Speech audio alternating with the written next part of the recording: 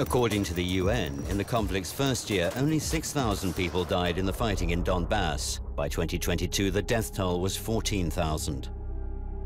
For eight years, the international community had paid little attention to the numerous killings of civilians in Donbass, even though for all this time, Russia had repeatedly called for a peaceful resolution to the conflict. While Ukraine kept shifting responsibility for the shelling to the DPR and LPR leaders. During these years, Ukrainian security has been systematically preparing to strike Donbass. Their agents are experienced Western specialists. By the end of 2021, Kiev had built up a military force of 150,000 soldiers at the borders of the People's Republics and were building fortifications. America gave Ukraine a steady supply of weapons. President Zelensky, who vowed to end the war after his election, intensified the military rhetoric. In February 2022, at the Munich conference, the Ukrainian president threatened to pull out of the Budapest memorandum and furnish Ukraine with nuclear weapons. And there's Ukraine's intention to join NATO, which raises the threat level to Russia. Further NATO expansion and the already started militarization of Ukrainian territories are considered red lines by the Kremlin.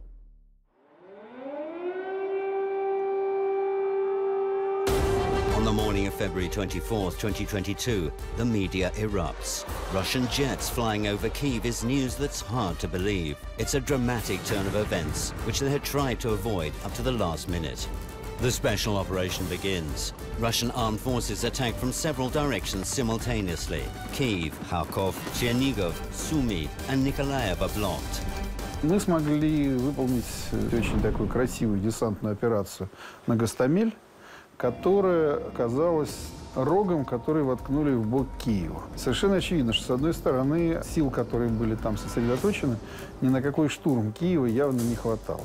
И через две недели стало понятно, что ситуация другая, что мы воюем уже не против Украины, а мы воюем против целого блока стран на территории Украины с помощью украинской армии как колониальной или как прокси-армии.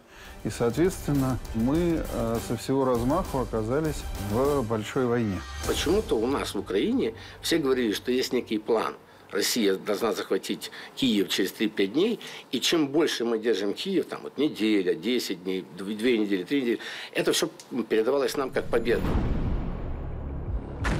При этом угроза Киева была настолько реальной, что это вынудило в течение следующих трех недель Украину постоянно контратаковать. То есть фактически мы приковали две группировки, Харьковскую и Киевскую, самых боеспособных бригад на этом направлении.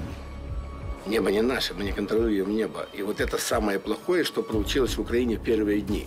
Superb air defense means the Russian army intercepts more than 97% of aerial targets.